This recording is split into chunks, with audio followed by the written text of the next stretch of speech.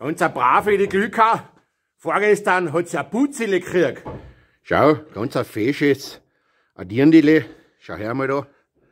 Sag einmal grüß dich. Aber es war wieder ein Klassiker. Ne, das war um, um 15 Uhr ist ja die Blotter geplatzt. Ich dachte, okay, passt, jetzt geht's gleich mal los. Dann habe ich Futter gerichtet, Strohbar gemacht, dann komm ich in den Stall runter.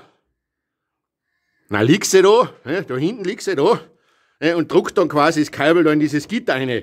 Denke ich mir, keine gute Idee, habe ihre Viertel genommen und die Viertel da so probiert herziehen. Habe jetzt nur 20 cm geschafft. Dann habe ich auch da ein Kraftfutter gegeben. Dann ist sie wieder aufgestanden. Dann habe ich mir gedacht, okay, wenn sie steht, dann frisst sie normalerweise 15 Minuten. In diesen 15 Minuten hole ich mir jetzt geschwind einmal meine blaue Montur und mein Haubele.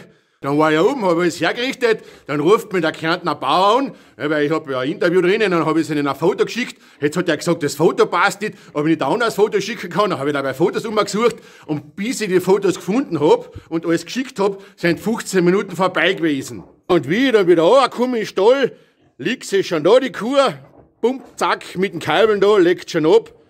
Man natürlich, super natürlich, wenn sie selber köbern, aber jetzt habe ich wieder kein Video da macht.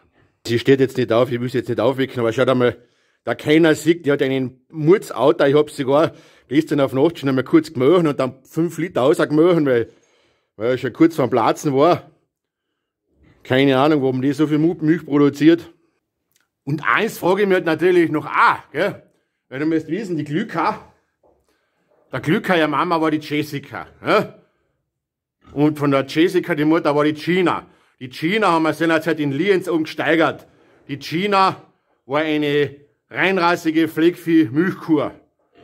Bei der Gina haben wir dann irgendwann einmal einen Belgier-Stier angelegt. Dann ist eben die Jessica rausgekommen. Die Jessica war eben 50% blau-weißer Belgier und deswegen hat sie ausgeschaut wie ein Belgier, schwarz-weiß. Jetzt haben wir bei der Jessica dann einen Fleckfischtier getan. Außerkommen ist dann eben die Glücker, auch wieder schwarz-weiß.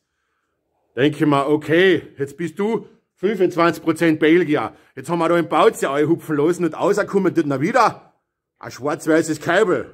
Das heißt, das Putzele ist eigentlich zu 12,5% nur Belgier und trotzdem schaut's aus wie ein Belgier. Aber lieb ist es, gell? Und namenstechnisch habe ich mir jetzt gedacht, lasse ich euch wieder mal entscheiden, wie soll sie denn heißen, die Kleine? Irgendwas mit G.